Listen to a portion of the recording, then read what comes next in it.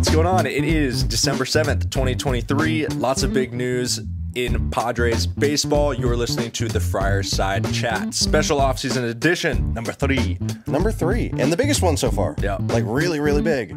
Really big. All things new. Yeah, we're talking Soto trade. We're talking filling out the roster with free agents. And, New manager. yeah, big, big, Big. stuff. All big. Let's Let's start with the biggest. get into it. Soto to the Yankees. Let's also not forget Trent Grisham was a part of this deal. I feel like all the if you look at any post on social media, it's like, oh, what Trent well, Grisham? it, it happened last know. time. Soto comes to the Padres. Oh, Who yeah, else? Josh Bell. Josh Bell? He was oh, all sure. pissed about it too. Yeah. I mean, he kinda- has more of a gripe than Trent does. But we, we will miss Trent. Trent uh, was He's a Gold Glove outfielder, man. Gold Glove outfield. We'll Good take. dude. Yeah. But you know, Bye. same time, sub Mendoza line for what, like three years or something. Problem is he couldn't hit. Tough. Get a little thump, but when you're hitting one 180 or 190, it's hard to keep you in the starting lineup. But anyways, so we, we already know enough about Soto. We know enough about Grisham. Let's talk about who the Padres got in return. From who, Vince? People don't know. I'm just kidding. The Yankees. uh, this has been a long time coming, and it was kind of like, are they going to do it? There was one stall out where they're like, the Padres asking price is too high. And to Preller's credit, it sounds like he didn't budge. He got two of their non-negotiables from the go to be in this trade. So, Vince, break down Yep. the haul. Okay, so we'll start with probably the centerpiece of the deal. That would be Michael King, 28 year old right handed pitcher. Bam. He um, mostly was a relief pitcher for the Yankees. His best year was 2022. He uh, had a one whip, which is excellent, by the way, uh, 11.6 Ks per nine, and a 2.29 ERA. And that, so that was out of the bullpen in 2022. So he was one of the best relievers in the game, Yeah, 2022. as a 27 year. And then uh, last year, 2023, he uh, pitched some of the bullpen, but made nine starts for the Yankees. And in those starts, 2.23 ERA, 51 Ks over 40 and one third innings pitched. Are we looking at Nick Martinez 2.0? That's what I was thinking. That's like the first thing I saw, and I was like, "Oh, he splits time, wants to be a starter. Does he get a shot?" It sure seems like it. he'll get he'll get his shot here. I mean, three empty spots. Yeah. three. Yeah, And I love that he's 28. Yeah. He's 28. He's within the prime years, 27 to 32, Mm-hmm. and we have control of him for I think two years. love, love that. Where he won't. love that. Oh my gosh, where, where he won't be getting paid as much as like a full-on signing. He's getting arbitration for the next two years. Very nice. Yeah. Yeah. So, So that that's one- exciting. That's a perfect fit. That was, you know, I think from Preller's standpoint, that was like a must have. Like he had to be included in this deal. Right. Um, and it fits exactly the need. So yeah, we, we think he's going to get a real shot as a starter. And then, yeah, like you said, three or four probably, Mm-hmm. uh, depending on how things pan out. But that is Michael King. So welcome, San Diego. Um, we also got the other centerpiece of this trade was top prospect, um, I forget his first name, Thorpe. Michael Thorpe? I don't know. Is it Michael Thorpe? Now I feel bad because I don't remember his name. Thorpe. Anyways, Thorpe. We'll learn Hey, give us. It's been like less than twelve hours. So since it happened. Yeah. Thorpe, uh, right-handed pitcher. He's 23 years old. This was the kid we had talked about in the other um, other podcast, right? But here's the San Luis Obispo. But Drew Thorpe. Drew Thorpe. There you go. Michael King. Drew Thorpe. My lord. Drew Thorpe, welcome. Um, but yeah, dude. So 139 innings pitched in the minors last year, 14 and 2, 2.59 ERA, sub one whip, which is That's unbelievable. big time.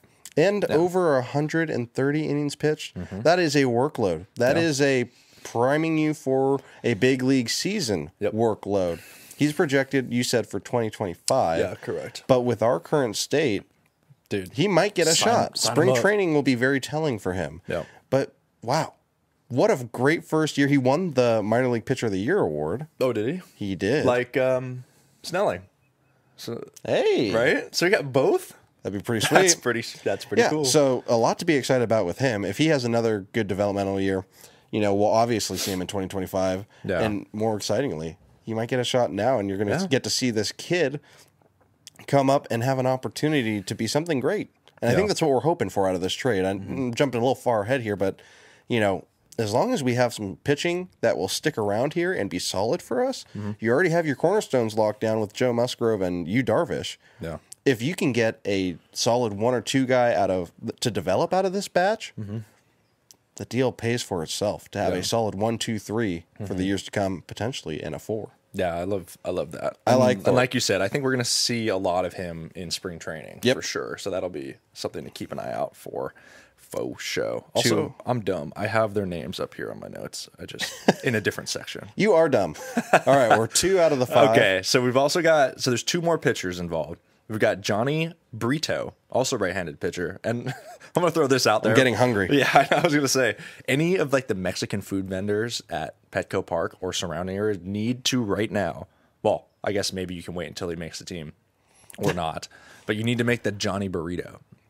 Love it. I'll eat it. Johnny Burrito. You had me at burrito. Yeah, can't not say it. Just had to throw that out there. But anyways, let's get back to the good stuff.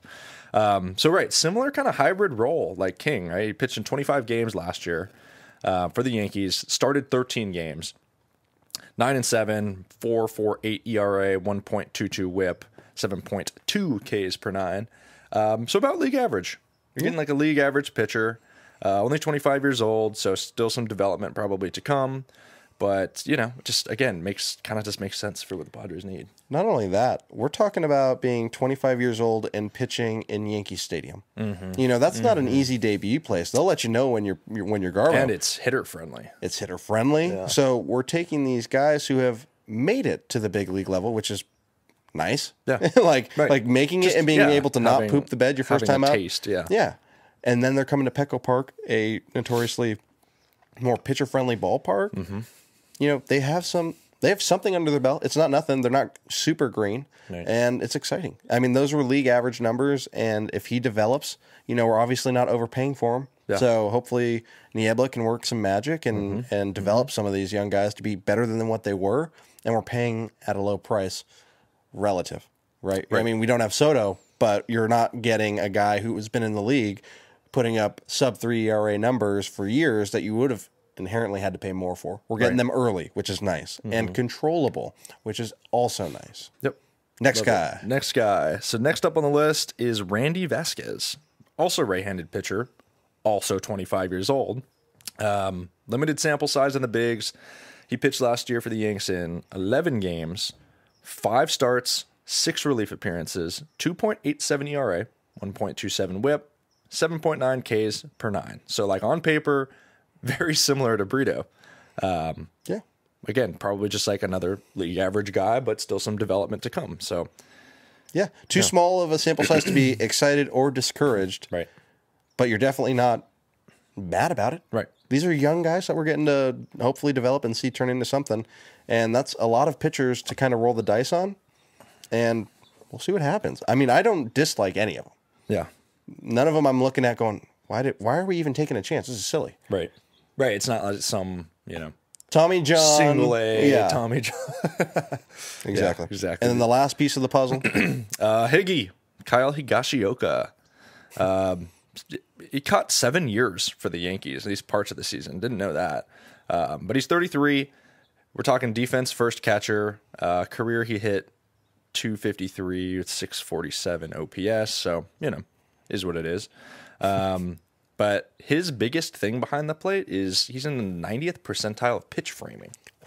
Yeah, love that. And you had a really good point before the show. I did uh, when I was. I sure did I have a sure good did. Yeah, you're, you're right. Uh, as all of mine are. Um, but when I was looking at this trade, I'm like, okay. At first, I looked at it and thought, good, we got a backup catcher. We were looking for a backup catcher. Campy, as in Campusano, is going to get to take the reins for the first year and have a Yep. clear cut opportunity to be the everyday catcher, which I'm very excited yeah, about. yeah, exciting. So I was like, all right, cool.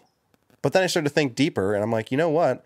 We're getting a lot of young pitchers from this mm-hmm. Yankee organization, mm-hmm. and they've pitched to him. Yep. You know, that is a going to be a, a face that they've seen before that gets to come with them to the clubhouse. He's going to be catching bullpens for them. Yep. It's going to be a face that's familiar and hope for, hopefully comforting to where that's the ad value Yep. he's going to be able to ease them in, usher them in, and help them make this transition in a way that someone that they don't know just can't. So, fun little pickup. Again, he's a throw in.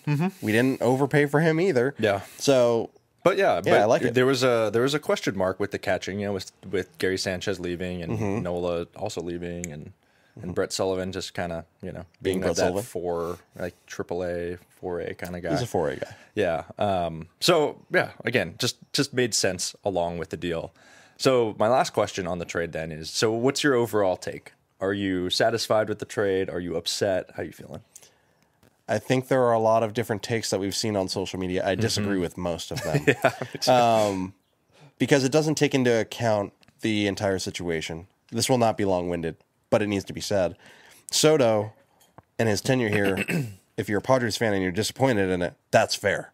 I mean, it is fair to be disappointed to see him go away because when we got him, you were expecting to see him play well from go. Yeah. You were expected the Padres to be in the playoffs every year he was here. Mm-hmm. You were expecting to potentially extend him Yeah. almost none of those things came to fruition. When he first got here, he struggled a little bit. Yeah. He became a bit rollover heavy. He was always good at getting on base with his walks. Yep. Towards the latter end of last year, he ended up putting up insane numbers and was hitting for power and being everything we wanted him to be. So we end last year and we're feeling really good about having Soto. Yeah. He's a silver lining to our bad year. And then you're like, all right, we have him for one more year. And then you find out we can't afford him. We can't afford to keep him. We can't afford to extend him. So that puts us in this brand new situation that is so different than where we were when we got him. Yep. With that being said, if you're not going to extend him, if you don't think you're going to win a world, you better be sure that he's going to be the missing piece to a World Series run. Right. And I don't think that's a the case. Like a for sure thing. Yes, and I don't think that's where we're at. so, what do you got to do? You got to find a way to get the most value you can. Waiting to the deadline, Yep. not not smart. We're not going to get any money or anything for him for half a season. Yep. So, getting rid of him now made sense. I understand why we had to do it. It's not fun to get rid of a guy like that because course. I know he's going to go to Yankee Stadium and Oh he's going to ball out. dude. He's going to be He's great, gonna. and it's going to hurt to watch it because it's like, oh, It's actually going to be fun to watch him because Judge. He'll get prime time. Gets Yeah. better, and it's going to be kind of fun. it works out for the Yankees. They're the Yankee fan base has every right to be excited. Um, But for us, it kind of sucks. That part stings. But we did get a good return. I mean, Mm-hmm. we addressed a lot of needs in the sense of pitching. Obviously, we're in dire need for that right now. Yep. And it also addressed some of the future needs as well because these are young guys. Right. I like that they didn't try Right. and go out and get a slightly above league average pitcher who's established veteran on their staff Yeah. and sacrifice not getting some extra pieces for the future. So I'm happy with what we got. There's upside. And like I said earlier, if even one of them becomes a dude, Yeah. like a bona fide dude, and you have you Darvish, Joe Musgrove, and player to be dude named, number and three. dude number three, that makes it all worth it because one year of Soto production is not worth having Yeah. two to five years of production out of a pitcher that we got in this trade. Right. Yeah. I think That's a good, my take. I think I think that's a good take, and I agree because I think my first, I think overall when I first saw the trade, I was a little bit disappointed, but then right, but then I did the research, like we said, like you know, I'm used to when I see all these trades, it's like oh, you know, they threw in like a single A pitcher with three Tommy John surgeries, Yeah. and it's like well, that's not the case, right? Like you said, these guys are all big league ready, mm-hmm. you know, and and have potential high upside. So it's like okay, like you said, one of those four, like there's a good shot that they're, one of those four guys is going to be like a legitimate big league pitcher. So that that in itself is exciting. And then right, we already talked about Higgy. I would say like still like the one thing I would still say is like it would have been nice to get maybe an outfield piece, especially since you're shipping two away. Two. It would have been nice to get at least one. Yeah. But I know it, it seemed, and it's funny, right? Because the Yankees' top three prospects are all outfielders and um, good ones at that. But it, it, I'm sure they probably had one of those names, right? It's like Spencer Jones, Dominguez, and Pereira. I think are the top three, right? And it's like I'm sure Preller tried to get one of those three guys, and I'm sure the Yankees are like untouchable. yeah, not not happening. I Yeah. think the other part too, where the fan base is a little frustrated, is like, okay, so we got all these young pitchers that may work Mm-hmm. out. It doesn't completely solve our pitching need right now. Yeah. And it creates a need in the outfield because now Yeah. we need to go find outfielders. So it just there's no part of it that feels like you can be like, oh, thank God that was solved. Mm-hmm. Nope. It created more ambiguity of what this roster is going to look like. yeah. But when all is said and done, I think we'll look back at this trade and go, thank God that happened because now we have so and so. Right. And It's just kind of that'll be good. shifting the levels, right? It's like outfield was in a decent spot, pitching was in a bad spot, and now it's just like whoop. Yep. Both need a, a little bit more attention. Yeah. Um, and it'll be fun. I Yeah. think it's going to be fun to see Preller reconstruct this team. It's his last chance to do so. Yeah. I mean, this is his his go. Like Mm-hmm. he needs to make things right, right the ship, and he's not a bad GM. It's gonna take him putting on his big boy pants and figuring this out. Yeah. But I'm excited to see the new product that will be on the field. Yeah. It's sad to see Soto go though. It not is. fun. It is. Right. We can all agree that any team is better off with Juan Soto. But again, with the value situation, It's not about one year. It's for yeah, us. Exactly. It's not about one year anymore. And they got burned already. I mean, look at Snell and Hader. Had they decided to trade at the trade deadline, Mm-hmm. Yeah. imagine what they could have gotten. A lot. I mean, legitimately a lot. Snell was the best starting pitching option on the block, Mm-hmm. Yeah. Mm-hmm. and Hader was the best relief pitcher on the block. They could have taken so much from a team, uh, and they didn't. Yeah. So now you have the same situation coming up where you've got Soto, and you cannot afford to let Snell, Soto, and Hader all go for nothing. They're just going to walk away, and you got nothing to show for it. So I think that also played a part in Soto Right. uh, being shipped let off. those two guys go. So let's get something. Fool me here. once, fool me twice, fool me um, three times. So, anyways, let's let's use this. I think this actually it it makes sense, right? So we just talked about Soto trade and the intricacies of that, and we touched upon how right there's still a lot of areas that need to be filled. Yeah. So let's talk about a little bit about potential free agents that Okay. could you know help fill in these gaps, right? So we can we can start with the starting pitching since that one obviously is most impacted here by that trade, right? So at this point, we can probably say that at least Give me so got- so we've got nice, good one. He's not going to pitch till Yeah, 25 anyway. But anyways, we can't afford him. so right, we've got let's let's talk about the starting rotation. We've got two, you know, I guess you'd call them franchise guys, right? And Darvish and Musgrove. Hopefully they can be Based be on healthy. the contracts. Yeah, exactly. Um, but if those guys are healthy, you kind of know what you're getting. You're Mm-hmm. getting two quality MLB starters like that. Uh, we're hoping Michael King or someone from this trade will be that three four guy. Mm-hmm. We've got a couple other internal ones. I know you've brought up Morejon a couple times. Morejon will get a got shot. he's got good stuff, but just hasn't put it together in MLB yet. Um, Waldron had a surprisingly good Mm-hmm. end to last season. That's the knuckleballer. Um, so hopefully he leans into that knuckleball. Um, so right, like a couple He was fun internal options, right? Like again, I don't know if you know they might be a serviceable five. I would love to see like one more like quality MLB starter. You know, Yeah. I think that would give us really good options. And so I mean, They're gonna I- sign I've another got a, I've got a couple written down here. Are there any any top of mind for you that you would like to Fire see? away. I'm, I'm going to chime in. All right. So we talked about, I had mentioned these a little bit before, but, and we'll talk about our new manager, Mike Shildt, in a little bit. But there's uh, Jack Flaherty still on the market. He pitched for Shildt in um, St. Louis. I don't know how expensive he's going to be, but he kind of had a last, kind of a rough last couple of years plus injuries. So it might be a decent pickup. Um, Ryu is on the market. I don't know. That's a little bit weird. But he is he's a good dude. He's a good pitcher, man. Like he always performs. He's older now too, but I'm just saying you could get good value out of him. Um, there's my actually my top one, one of my top free agent, and I'm like, come on, make the deal. Is uh Imanaga, the left-handed Japanese pitcher. Yeah, I'm that's who it. I want. We're on the same page. That's who I want. I want that guy. Get me get me some Shota. Shota. Give me some Shota. It's Shota time. Get rid of Soto. Get Shota. Add a But no, that's my guy. He's this 30 year old left-handed pitcher. He he he started the game, the World Baseball Classic, um, for Japan when they took down the USA for the championship. Dude's a stud and kind of flying under the radar because Yamamoto's stealing the show. So give me some Shota. That would be sick. Um, but anyway, those are those are like kind of the names. Yeah. Dakota Hudson was another one I had wrote down, but I don't know. It's not like not super exciting. I mean, let's let's be real. The, the market isn't that great for what we're looking for. Yeah. But we'll see. I mean, it really could be a chance. We we let Morejon fly under the radar right now. It's true. The guy has stuff, and I hate that term because stuff is undefined and often a huge variable. Well, the dude throws effortless 99. yeah, he's a guy where once it clicks, it could be game over. Like that could be your guy Yeah. because he has quote unquote stuff. Stuff. Um, I want to see him perform this year. That's my top pick for the number five spot. The number five spot. Give me Morejon. Okay. a, a Morejon that has figured it out. I like that. And. I can totally picture him if he gets that spot from go Mm-hmm. and can pitch three times through the rotation without losing said spot. Yeah. It's going to be a big year for him, Mm-hmm. developmentally, psychologically, Yeah. and hopefully Mm-hmm. within the results. Got it. Yeah. So we'll see. I, I'm sure they'll sign somebody. They have to they have to, and hopefully that comes up relatively soon. And creates a really interesting storyline for spring training, right? Like Spring training is about, a you're fight. talking about three starting spots available. You want to know who benefits from this? And this is going to sound really weird uh, to people who might not play the game. When you have three spots open, if you've got a guy who maybe has some really good ability, but maybe not isn't the strongest up here, Yeah.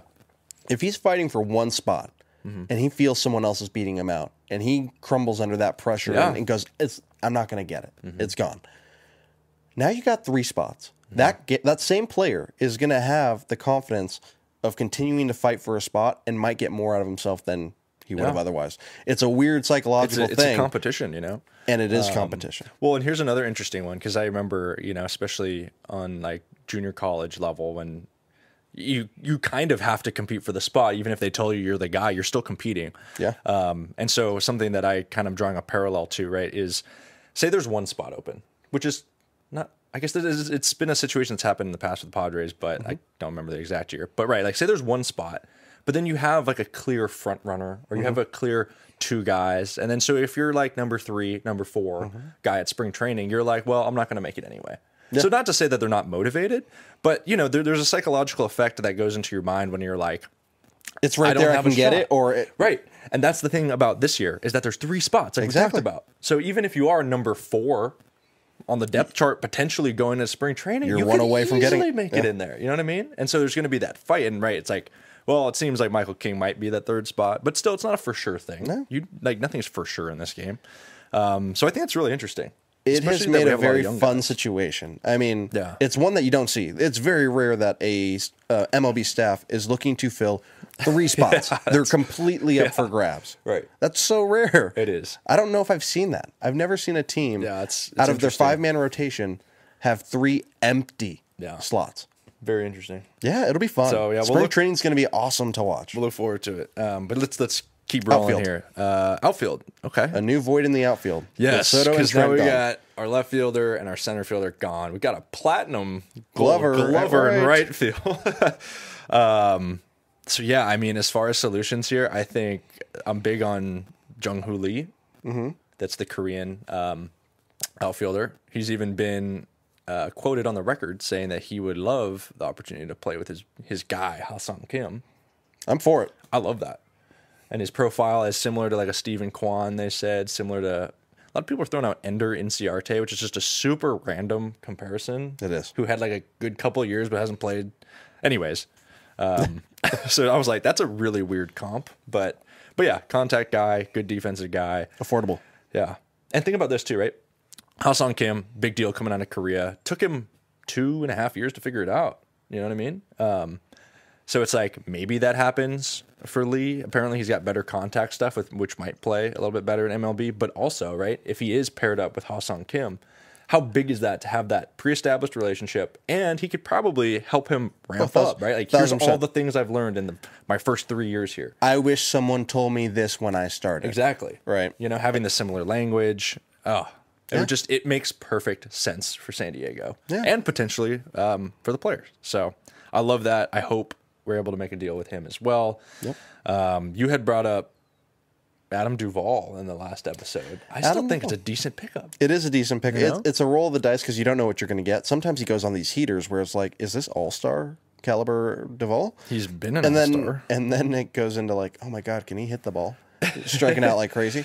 Um, I do remember he's. Uh, I think I remember seeing he's much more effective against lefties. So it's like possible platoon, and he's also a Gold Glove outfielder. I, think would like to have him because he plays too. solid defense. He has pop, which is something the Padres need to replenish because you're losing Soto. Right. Um, we don't have a first baseman that hits for power. Mm, yeah, that's that's another one. So we'll- having we'll Duvall makes about. some sense too. That would be nice if he's not crazy expensive. Yep. Beyond that, I thought you had an even better take where it's like, who do we have in the wings oh yeah. just trying to get to the Mm-hmm, big league level? Yep.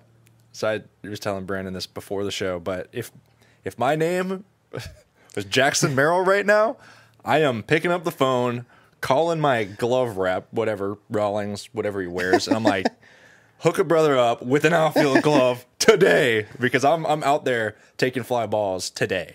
Yeah. Um, because similar to the we said with the pitching staff, an outfield spot, barring some you know bunch of free agent signings, is up for grabs. Two, Yeah, two spots. you know what I mean? And we saw, I mean, Tatis just proved it. Like, if you're an athlete, put me out in one of the corner outfields and I'll get it done. You know what I mean? And no disrespect to corner outfield. You would know better than I, me. I played corner outfield. Yeah. uh, it, it's harder than people think, but yeah, it's but it's not shortstop. if you're an athlete, you know, it's not right? shortstop. The It's- dude's an athlete. And uh, there's a logjam in the infield, and it might be his best shot to come up and play sooner. And I think that's every player's dream is to get to the bigs by any means necessary. So this might be those Well, means. Especially, too, right? With a loaded infield, right? Like, where would he even play on the infield? That's First what I'm saying. base? Logjam. Right. Kim, Cronenworth, Bogaerts, Machado. Rosario, and then yeah, Machado will probably be DH to start the year, but with his elbow. Yeah. But still, right? Like that's a that's a crowded infield. Hey, Rosario. Yeah. Might be a breakout year for him too. He Right? had some promise. He's going to get an opportunity, I think, right? Because Machado, like I said, I my prediction: don't rush him back into it. There's kind of no need to. Just DH you know what you might see? Actually, First base Machado. no. that too- Well, is that if too Machado's going to DH early in the year, you might see Kim go play third and Jackson Merrill get a shot at second. Yeah. Oh, that's true. What about? I wonder if Eggy can play first base. We'll see. This is a lot That's of fun. interesting. I mean, There's so many moving pieces there. You this could- year is going to be so go. fun to watch because it's going to be the year of opportunity for younger guys. It's not going to be as many big names because Yeah. you're not going to have your Soto Yeah. Mm-hmm. and some of the other bigger, like even a Josh Bell, like these names that you've heard in the league for a long time. Yeah. But you're going to get to start to see some of the prospects that you've been hearing about for a couple years now in the Padres organization come up finally because we've actually been deprived Mm-hmm. Yeah. of prospect talent coming up these last couple years. If there's one thing we haven't had, Mm-hmm. is the prospects come up and do a, do something of noteworthiness. Yeah. I don't know. For I don't sure. know how to say that, but yeah, we've always been about getting the big name, Yep. and they've been coming in, and it's gonna be a different type of Padre team. Here's here's an interesting.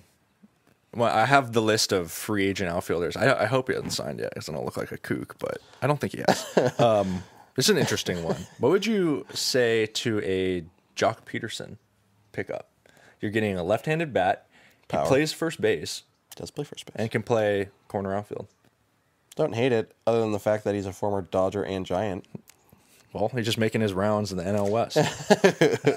Also just seems, yeah, I'm not going down that road. Yeah, it makes sense. I'll, I'll, I'll give you that. It, makes sense. It, could. It but he's could also work. expensive, right? I don't know. It's got to be. Not sure. Not sure what the market is for him. But uh, I just I saw that on the list, wanted to put it out there. But anyways, we could go all day, but I think those are just a couple, you know, names and or ideas that kind of made sense to me. Yeah. Um, Next thing, though, Yeah, another big thing new manager. We've got a Of new course. manager. of course. Mike Mikey Shildt. you hurt your name with that last name. Hurt- yeah, hurt puns incoming. yeah, um, interesting, really interesting story. I- You know, I was reading more about, and we touched upon him real quick in, in our first off-season podcast. But you know, now that now that it's official, Mm-hmm. want to do a little bit more research. Um, really interesting that he never played professional baseball at any level. Couldn't believe that when I heard and I think he, they were even saying he played like he was like a bench guy in college. Yeah, he uh, like a subpar D3 college, player. guy.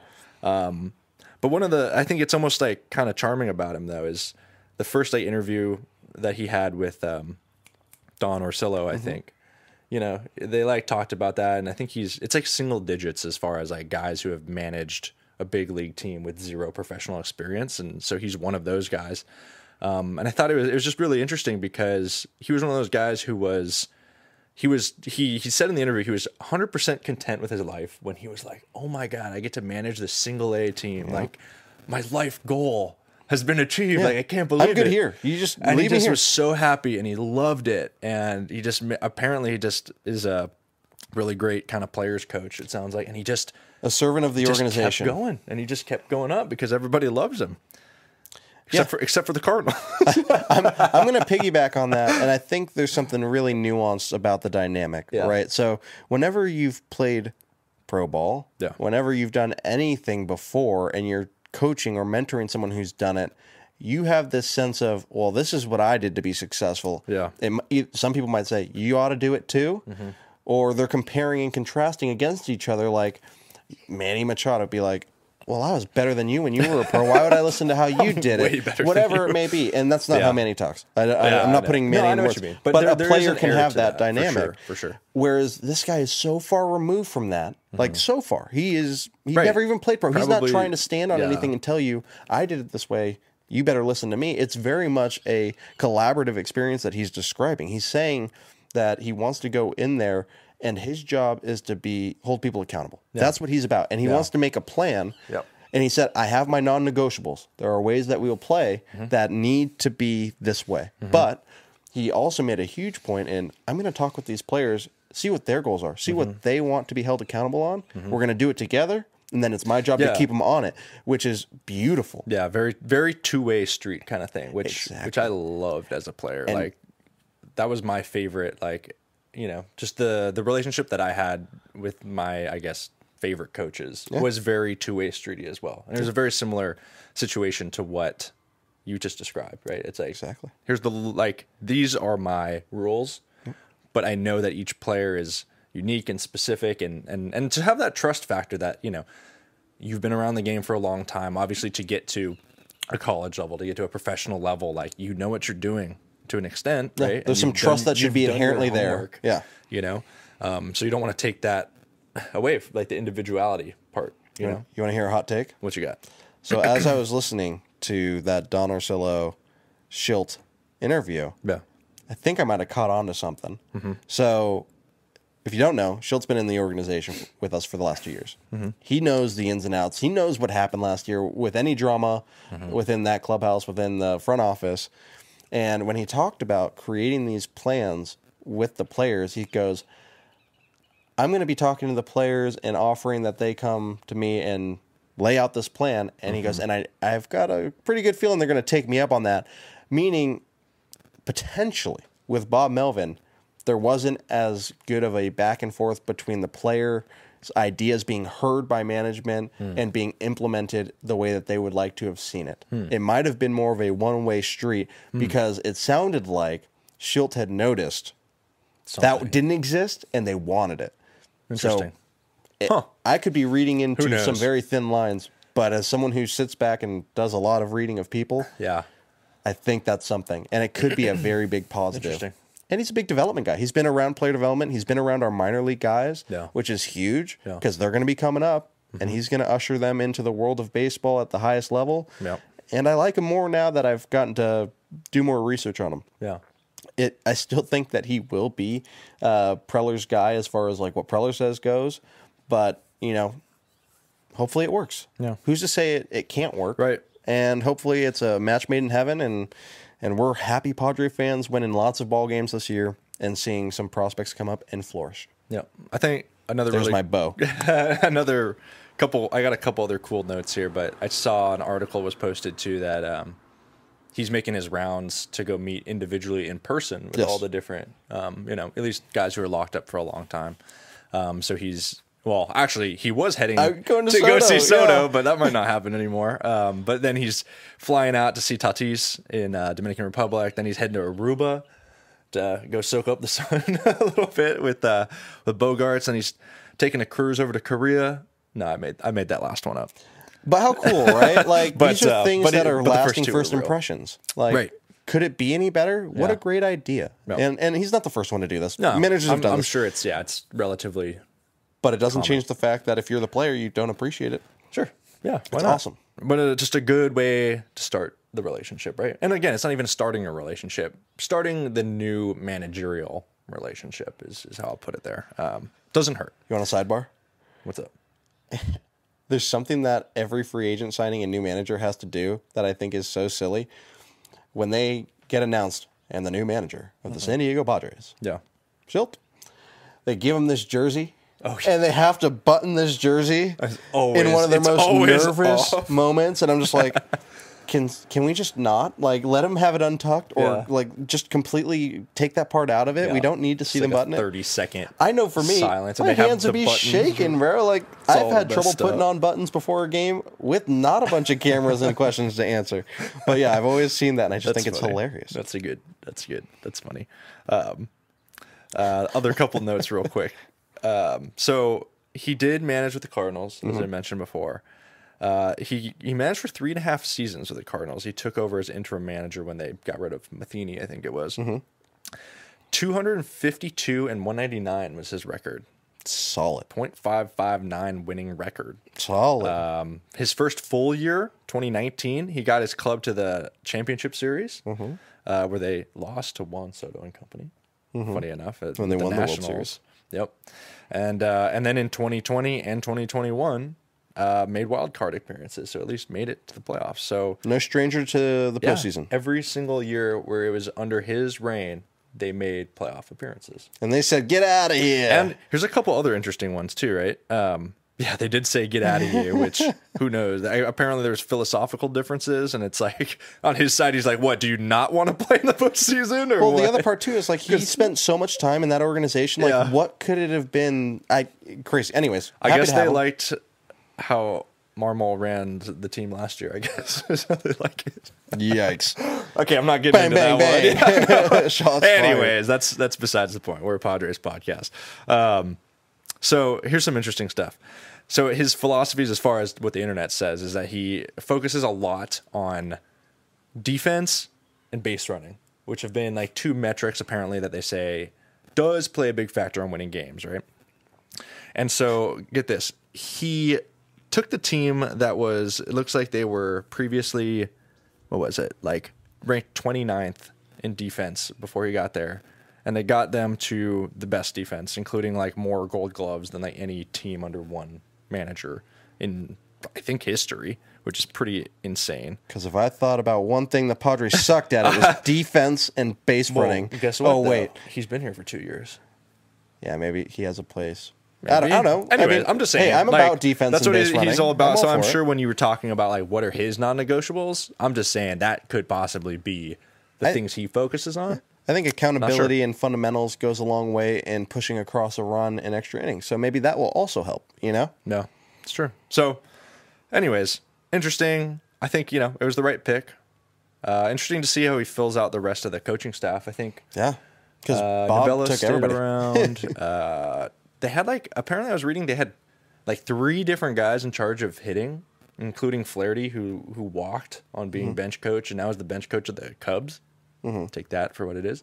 Um, so yeah, I don't know. We'll see. We need like a third base coach.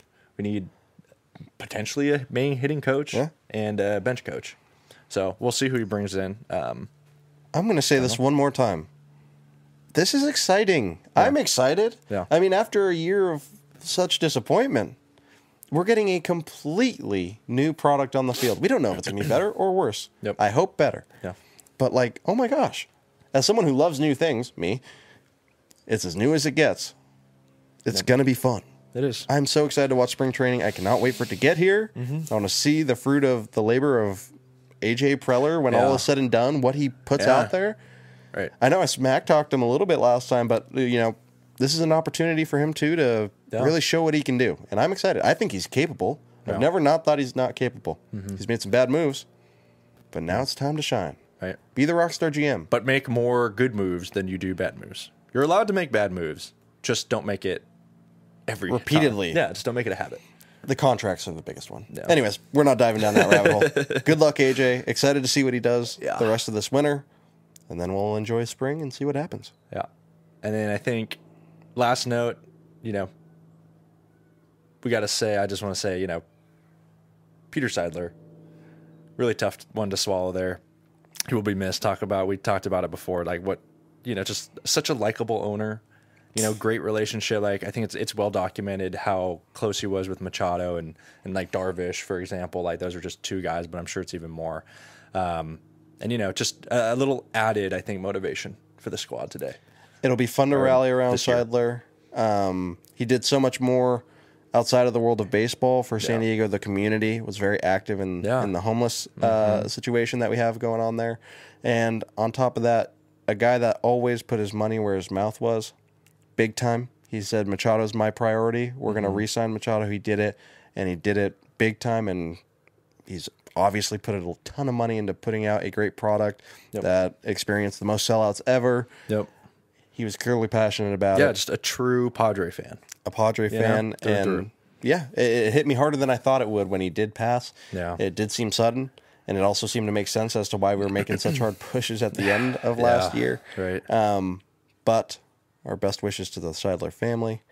And I'm I know that all the Padre players who were affected by him are going to rally around him this year. They'll have a patch, I'm sure, Yep. uh, as a daily reminder. Which sounds silly, but it really does. Yeah. You know, you put that uniform on every day, and when you see something every day, it stays in your head, which we want um, out of Seidler. So best of luck to the Padres. And thank you, right? Like just Big time thanks to he, he, he allowed San Diego baseball. Like, we've seen the city, like you said, the sellouts, the the playoff atmosphere. Like we haven't seen that in forever. We haven't seen a product like that Yeah. because they wouldn't spend money in the past, and so he really made it happen. Just it's a thank you, and yeah, and it's and it's a legacy that will not be forgotten um, anytime soon. Tip of the cap. Yeah, absolutely. And uh, I think that wraps it up. If there's any other big, big news that comes out from this off season, we'll probably hop on, do another off season episode. But that wraps it up for this episode. Go Pods. Go Pods. Thanks for watching. See ya.